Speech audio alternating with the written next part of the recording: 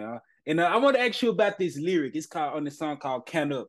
And you know, it said, "When I was a youngin', Mama beat me with the belt. Every day she asked what I'ma do with myself." I'm a genius. I'm a. When I was a youngin', Mama beat me with the belt. Every day she asked what I'ma do with myself. Was it was it like? I want you to go a little bit to the like name some truth about that. Like, what do you feel like he meant by that?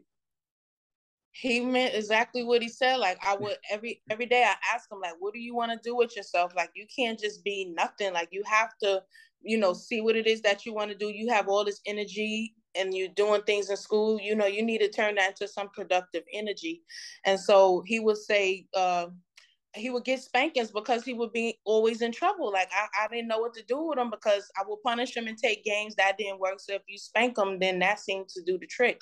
And then I started, then that wore off, and then I had to like go back to taking his game and stuff like that away from him, punish him from going outside. So when he would be on punishment, that's when he started doing a computer and then finding his way around and trying to do music. So I guess it worked in a sense because when every time he was on punishment, he couldn't watch TV. So he would just do beats on a computer. And then um, I will always ask him what he wanted to do with himself because I'm very strict on them as far as like doing something like I Becoming didn't want successful yeah i don't want like because his father and myself like we're very like strong-willed and we always worked or we always had like something going on for ourselves and we just didn't like you know just people just laying around and just thinking that because your parents have that you're supposed to have too. So we wanted productive children. We didn't want to um have children that we were enabling. Yeah yes ma'am. Yes ma'am. That's understandable so I would ask you this: What was the worst thing that you would say that speaking I said, like to just sit you off to the curb, like like that, that you almost like just wanted to? I would you you won't wipe your hand with your child, but you know just be like, I don't know what to do at this point. Oh well, I think I was telling him he was staying with me at the time, and I was sitting in like he like okay, so he would go in his room and he always would keep a box of Q-tips in my room in the window, and that was his form of exercise. So I will put it in his closet, like in a, closet in the bathroom, but he would take it out and put it back in my windowsill because that was his way of coming in my room and having a little dialogue with me for a little bit when he would take mm-hmm. his break from his music and then stand there for a little bit and talk with me. So he had came in the room this one day and he got, you know, he would get his Q-tip and then stand in my doorway and just kind of twirl it in his ear while he was talking. Mm-hmm. And he said, Mom, he asked me a question or whatever. So I said, Oh, yes, son. I said, I need you to pay, um, start paying your own cell phone bill because you know you start making like way more money than me, you know. Off the music. Yeah.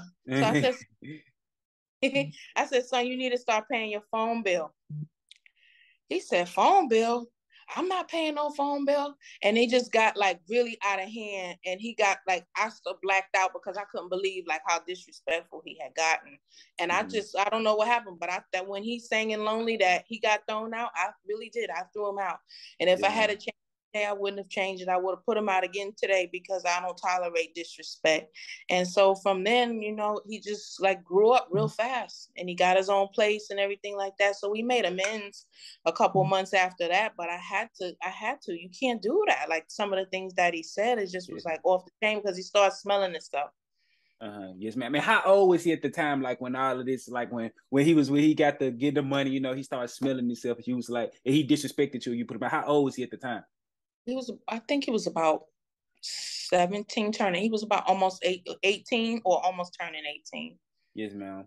And and I want to ask you this. So, and I know as a as a mother, you know, that was pretty hard for you to, you know, put your child out. But you know, you taught Melissa. So when you when you put him out, like was you thinking about it? Was y'all still talking, or y'all relationship was kind of like?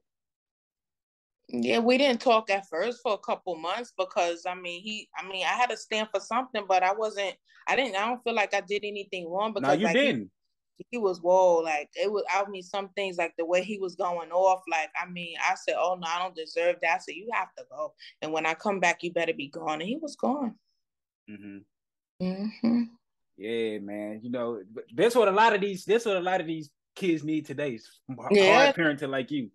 They do, and it's some. Sometimes it's very frustrating being around parents of today because they allow their children to do so many things that it's like they have no standards at all, no boundaries, and these kids are just do whatever they want, and they just learn. They're not learning anything by them letting them get away with everything. It's just bad because they they have to learn from somewhere, and it shouldn't be in jail or from the outside. It needs to start at home. But I mean, I guess I'm old fashioned, but I'll remain that way. If I had to raise my kids the same way that I did before, I would do it because I have two successful children. Mm-hmm. And my son is deceased and he's still yeah, he's doing still, yeah. Yeah. Yes, ma'am.